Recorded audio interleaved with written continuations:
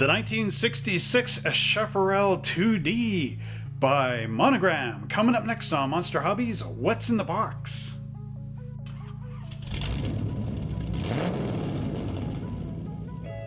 Hello once again, race fans. Welcome back to the pit. Today we are looking at another one of the great race cars.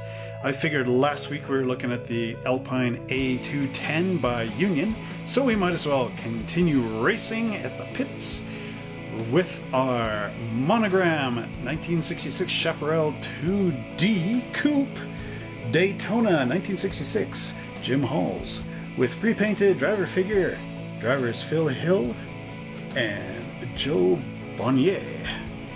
So that was quite a big big title on this box for a very very cool kit.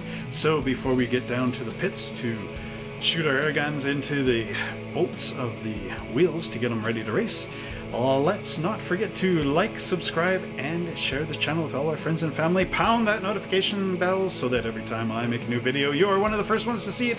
And now, without further hesitation, let's go down to the racetrack. Hello once again, race fans, and welcome back to the 1966 Daytona. Today we're going to be looking at Jim Hall's Chaparral 2D Coupe with pre-painted driver figure. The drivers for this car were Phil Hill and Jo Bonnier. Now this is a really cool kit. It was originally introduced in 1966 during the height of slot car racing. So it does have some details in it. It also has some very interesting blank areas where you could put in your own brass frame and of course a slot car engine if you were able to kit bash. Alright, let's just take a look at the sides of this box here. First off, you can just zoom in on this panel.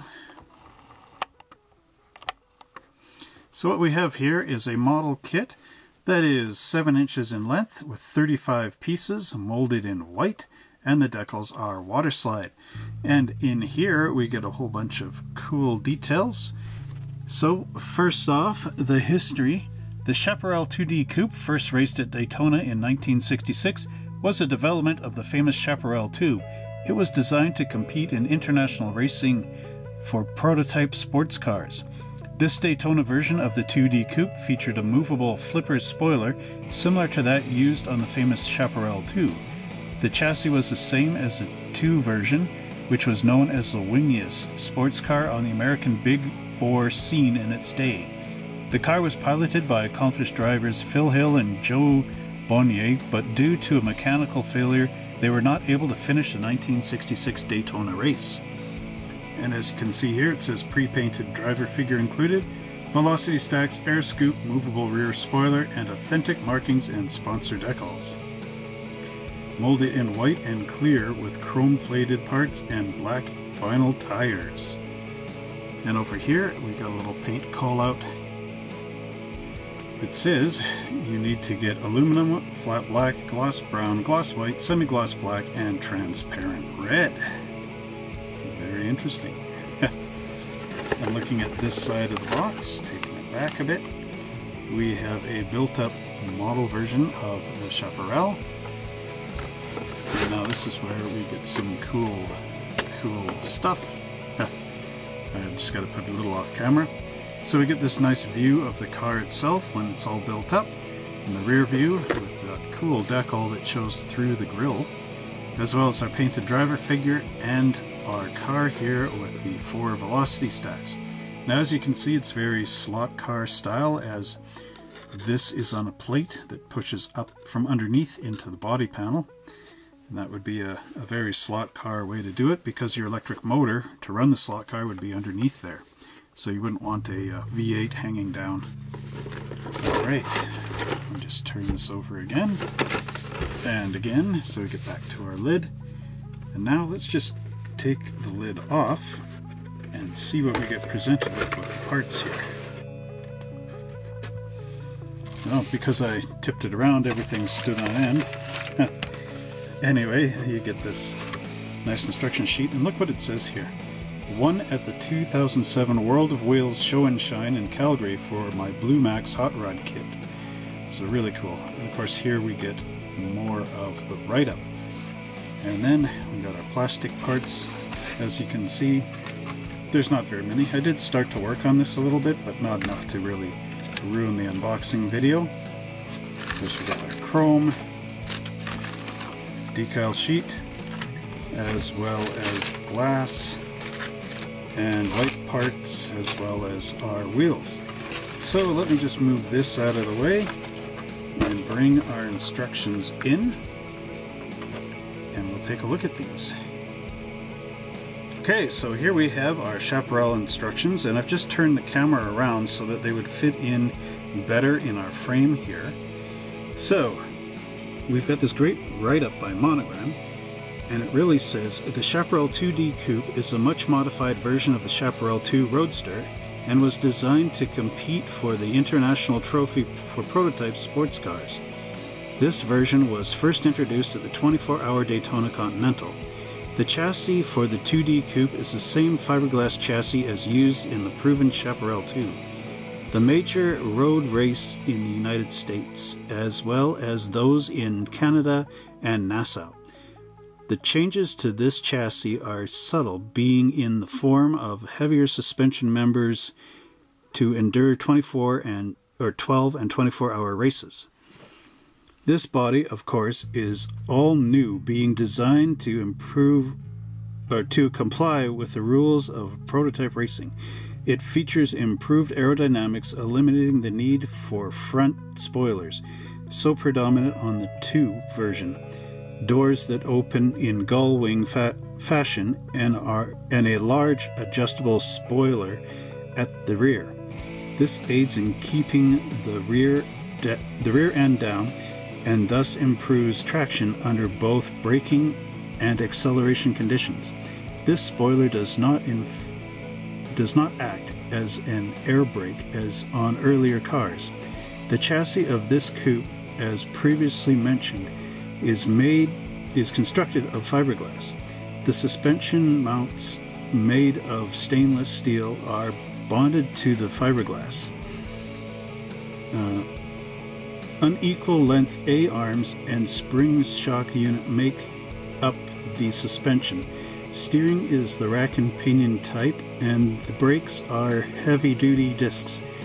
Power is supplied by a rear mounted 327 cubic inch aluminum alloy block engine, uh, enlarged to about 360 cubic inches, four dual throat carburetors, and tuned exhaust system, uh, along with other refine, yeah, refinements, enable the engine to turn out 440 horsepower, giving this 1,700 pound car a top speed of over 170 miles per hour using automatic transmission. Okay, Monogram brings you this automat uh, this automotive marvel in authentic detail and exact 124 scale, just as it first appeared at Daytona. Follow the assembly instructions carefully, apply cement neatly, neatly, and you will have a car which will be the envy of all your friends. Reprinted from the 1966 Monogram Chaparral Coupe Kit. Okay, so I'm reading that uphill, so if I'm a little bit stuttery, try reading vertically. okay, anyway. So, as we open up the instructions, we see this amazing detail here, this nice drawing. Up, of course, the body assembly, and what's nice here is that they actually tell you that like the headlights are chrome um, where are we here? Window insert is clear and it says paint the shaded area semi-gloss black repeat for the other side. Um, and tells you basically what's going on. So your stoplights are chrome you paint them transparent red and all the rest. So it's nice that they included that in. Whoops. Now let's take a look at the interior here as you can see, this is very much like a slot car style. So this is a pan that hooks up and then your engine pipes or your intake plate pops up through the bottom of this pan. The driver simply pops into the seat. The dashboard is simple. They give you the gauges on here plus your steering wheel, your, your uh, shift lever pops into here. And then as you can see, the floor pan is just a pan. So this is, if you are into slot car racing, you could make up your own brass chassis in here and, you know, lower this down a bit, put in your own um, slot car racing wheels. And then in here you'd have your electric motor and somewhere up here you would have your pickups for your um, your guide keel and all that sort of thing for in the slots, in the slot car track. So you can see the nice wheels pop in. This is very simplistic, of course. If you're just doing this as a snap together, your first model, it shouldn't take you too long to get it together. And then we come to our back page here, where we show the body dropping onto that interior pan, dropping onto our chassis here, and then this is all your decal placement for the car. And it also gives you some nice side profiles and top and rear. And here we have the body of the Chaparral. And like I said, I did do a little bit of cleanup work on it. I removed the seam lines from the outside. As I recall, there was quite a few high seam lines on this. But again, this kit is from 1966, so sometimes that happens. Alright, we can see some great detail on the top, the cut-in of the gull-wing doors, for starters. There is a little aerial or something on here. Um, a couple of bits and pieces. Of course, uh, we've got a reversed hood scoop here for ventilation. Alright. Anyway, I'm going to turn this on its side now. Oops. Here we go. Let's just put it at a bit of an angle. So as you can see, there's a little hole here for that adjustable rear spoiler wing. It's a nice design here. It's got sort of the Coke bottle style. It was uh, starting to come up new in this era, the 60s, of course. There's your handle for your gull wing door and a little side scoop right there. Very nice detail. Turn it to the back here. You catch this right, you can see the grill. As you can hear it. These little holes are for your tail lights, and then these would be exhaust ports right there, which uh, which are quite nice again. And then turn this over to the front. You can see the nice grill in here. There's going to be clear lights going in there, as well as there's some little indentations. Very nicely done. Now just turning this over, here, if you can notice, there are a lot of these mold marks. Of course, these little bumps in here, half circles. I like to remove these with, of course, a number 16 hobby blade. There are these little uh, pins in there that of course is for our interior to mount to. And then there's some more of these little mold marks in there. But again, for one piece body, this is a very nicely done kit. And it should be fairly simplistic to paint.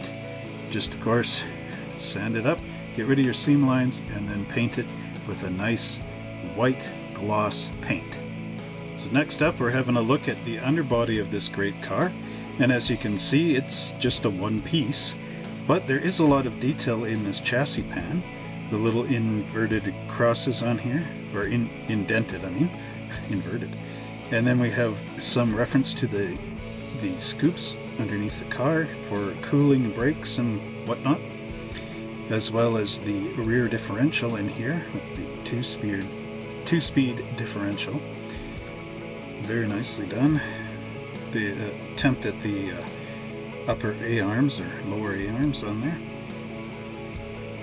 And then if we flip this thing over, you can see it's very uh, hollow in here. There are, of course, your mold marks going in. There's a button here which locks into the interior as well as two more in there just to uh, hold it in place. You could also drill these out if you wanted to make this a screw bottom car.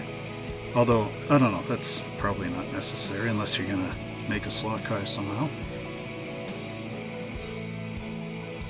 But anyway, very crisp detail on this. And now let's actually take a look at that interior. And here's our final piece of this three-part model. Uh, well, there's more than three parts, but, you know, three-part assembly. So here we have our interior. And as you can see, there is some nice detail. There's, of course, some more grills here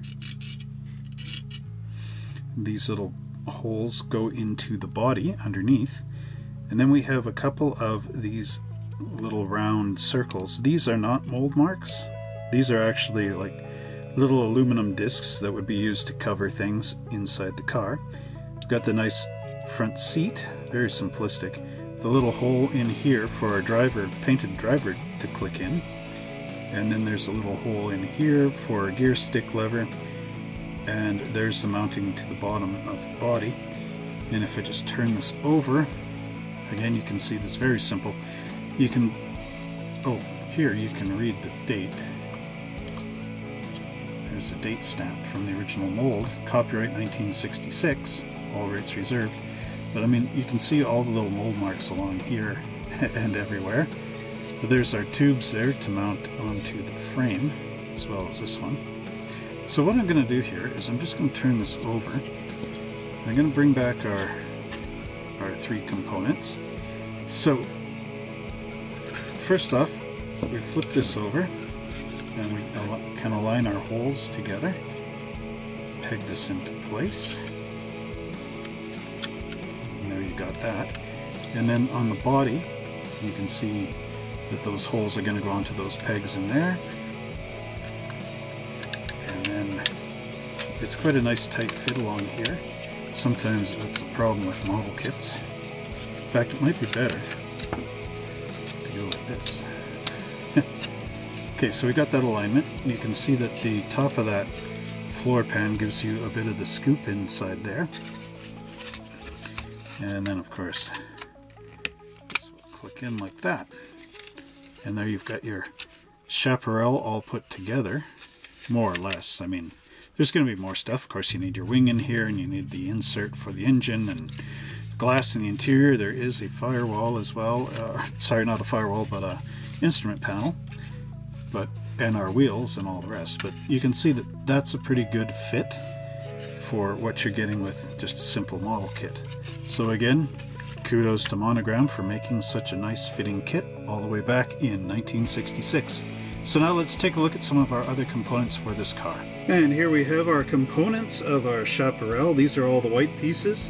Yes, these are all the white pieces, apart from the body, the chassis, and the interior. So you get two big fat plastic axles, which of course are big enough for um, metal slot car axles, about 1 16th I think. And here's our uh, wheels with the wheel backs. These of course show the disc or the drum brake, pardon me, going in the back here. Although, um, yeah, it's just a simple wheel backing. Here we have our dashboard, which I'll bring up into the camera here. Now, I don't know how well you can see this because of course there's white plastic with bright lights. Let's just move that. okay, you can kind of get a hint here. There's the gauges there, as well as a couple of the knobs and buttons, and our hole here for our chrome-plated steering wheel, which we'll see in a few minutes. And of course, if you turn it over, there are some old marks across the back, one under my thumb. But basically, that is your plain and simple dashboard. And finally, we have our rear spoiler, now there's some nice detail here. It actually has the aluminum sort of the riveted look on here. And then if you turn it upside down, there is, of course, the spot here for the mechanism.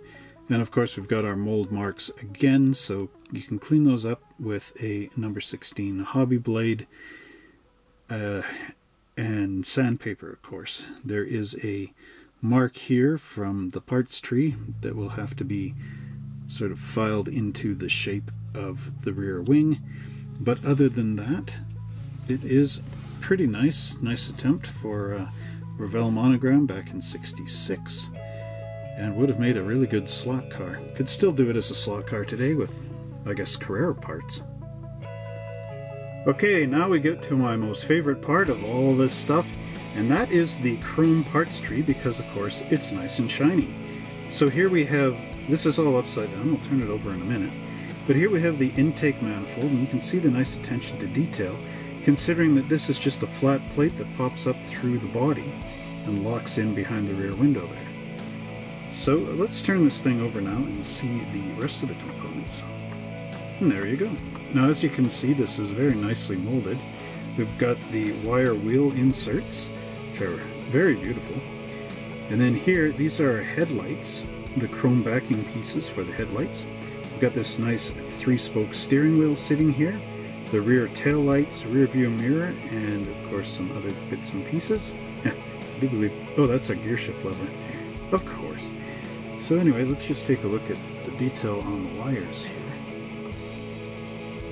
So we can zoom in, hmm, there you go, nice detail. Very good, you should be able to get a black wash in there, like of course Citadel Nuln Oil, and then wipe, paint it in, and then wipe off the tops, and it'll give you the nice chrome chrome spokes with the black backwash going into the bottoms. So now let's take a look at our windows. And here we have our window glass. This again is much like a Porsche 917K with the glass with a single windshield wiper. But again, this is of course before the 917K because that came out around 1970. So this is 66. So possibly Porsche got used a bit of this idea in the uh, predecessor. So here you got your rear window. These are the components for your headlights and of course your side windows here. So let's just take a look at this up to the camera. Now you've got, there's a bit of detail here. Um, a couple of little bits on the window. Oops, sorry. Looking at it from my angle, not your angle. Okay, so there's like a little door here. Um, which is cool. Two on each side.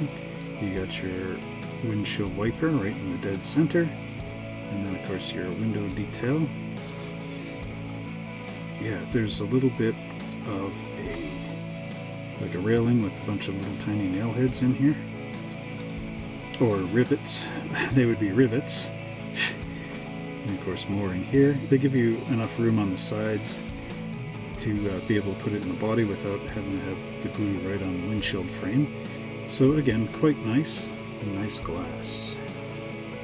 So next up we take a look at the tires. And these are really kind of cool. You get two sizes. These bigger ones for the rear tires and then more narrow ones for the front. They have, uh, of course, a nice tread pattern on them. Very much a wide grippy tire. Unfortunately, there is no manufacturer name on any of these tires, but that is provided in the decal sheet, which we'll see in a minute here. So there you've got your big ones as well as your narrow ones. So you can see quite a bit of difference in the height between the two. And of course, just the overall taller profile here. And again, they both carry the same type of tread pattern on them and are very nice.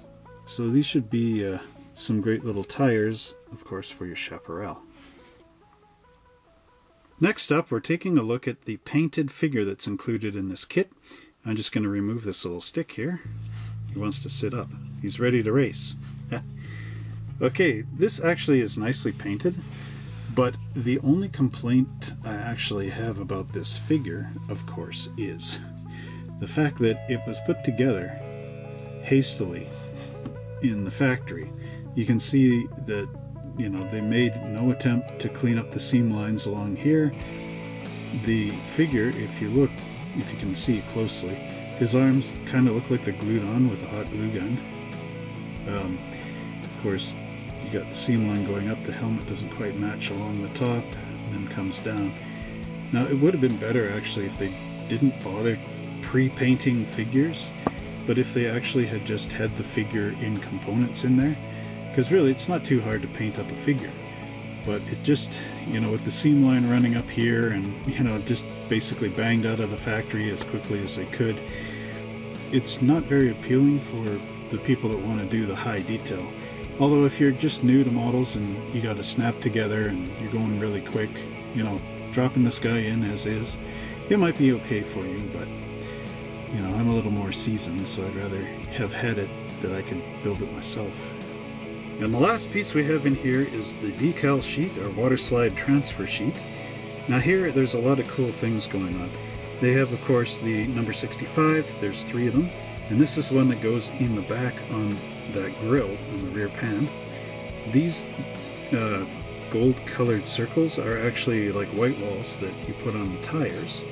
And there is the Firestone nameplate for the tires. And then we have Cox on there. Now Cox they made a lot of radio controlled planes and, of course, guess what?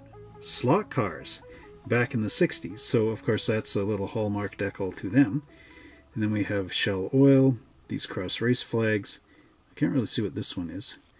Um, and you also have decal gauges that you can slip on there instead of painting it on your dashboard. So this one is copyright 2004 from Revell Monogram. It's hard to know what the original decal sheet looks like when, of course, you don't have an original model sitting here. I could Google an image, I suppose, but I'll leave that up to you. So have you guys ever built this model kit before? What do you think of it? Do you like it? Did anybody build it as a slot car? Let me know down in the comments below. And that completes our look at the Jim Hall's Chaparral 2D Coupe the Daytona 1966 winner with pre-painted driver figure from Monogram. Alright everybody, wasn't that a great couple of laps around the track as we pulled into the top racing position with this amazing 1966 Chaparral by Monogram, and isn't that painted figure really cool? Well, if you like these great videos and don't want to miss another part of the action, don't forget to like, subscribe, and share this channel with all your friends and family. Pound that notification bell so that every time I make a new video, you are the first ones to see it. Let's get this thing up to the top pole position of 100 likes so that everybody that wants to race a Chaparral can and will with this amazing model kit. Let's make that happen, people. Of course we can because we are awesome. We are the model builders shaping the revolution of the world. All right, next week we will come back with another great car review that you won't want to miss. So until next time, happy racing.